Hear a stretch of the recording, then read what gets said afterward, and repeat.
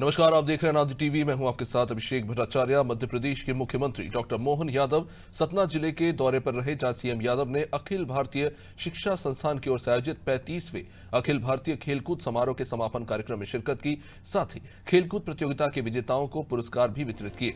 इस मौके पर मुख्यमंत्री डॉक्टर मोहन यादव ने कई महत्वपूर्ण घोषणाएँ की।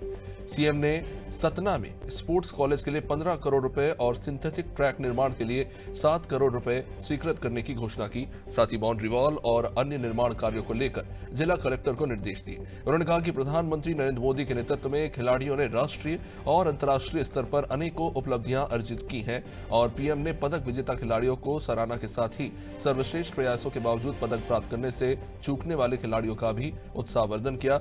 मुख्यमंत्री ने यह भी कहा कि भारत में घुड़सवारी, तीरंदाजी, तलवारबाजी और कुश्ती जैसे परंपरागत खेलों का समृद्ध इतिहास रहा है।